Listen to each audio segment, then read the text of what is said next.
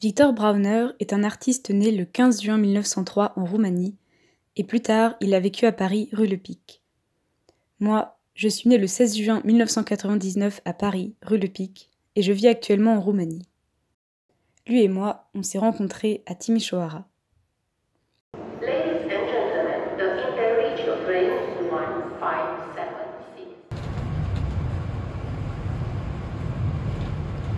Victor Brauner a dit que chacun avait un monde secret. Pas nécessairement un monde de rêve ou d'émotion, mais un monde qui ne correspond pas à l'espace extérieur. Si j'étais peintre, je me demande à quoi le mien ressemblerait. Timișoara, que j'adore prononcer Timiș, est la capitale européenne de la culture. Là-bas, il y avait de la couleur dans les rues et sur les affiches, et mille choses inspirantes. Il y avait d'abord Paul Néagou et ses énormes carnets. Il demande Est-ce que le temps est égal à l'espace? Il dit Pour survivre, l'art doit abandonner son aspect purement visuel et devenir palpable, convier tous les sens. Sur ces carnets, j'ai vu de la danse, du noir et blanc et la mer. Partout dans le musée et dans la ville, on pouvait voir les tableaux surréalistes de Brauner. Et puis il y a cette interview à la fin de l'exposition. Chacun a un monde secret.